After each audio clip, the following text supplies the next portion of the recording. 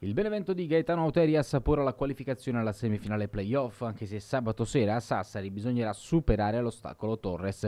I sardi, una delle sorprese della Lega Pro, sono arrivati secondi in classifica e di conseguenza testa di serie. Al Vigorito non è andata benissimo per i rossoblù perché il gol di Talia ha messo in discesa il cammino del Benevento. È chiaro che la Torres potrà vincere con un gol di scarto, pareggiando i conti, staccando il pass per le Final Four, ma bisognerà per forza appunto vincere. Anche un pareggio darebbe via libera alle streghe. I giallorossi in questi playoff si sono affidati molto ai colpi dei singoli, a cominciare dalla sfida del Nereo Rocco contro la Triestina. Lì un super gol di Lanini ha regalato il pareggio al Benevento, permettendogli di giocare con maggiore scioltezza il ritorno.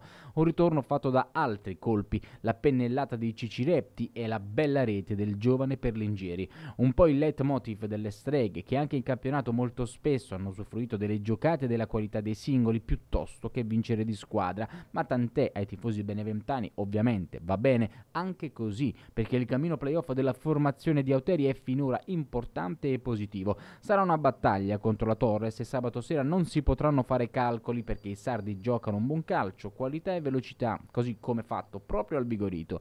Dall'altra parte il ritorno di Cararese Juventus Next Gen dopo il pareggio del Mucagatta, i toscani giocano per il doppio risultato per regalarsi proprio una tra Benevento e Torres.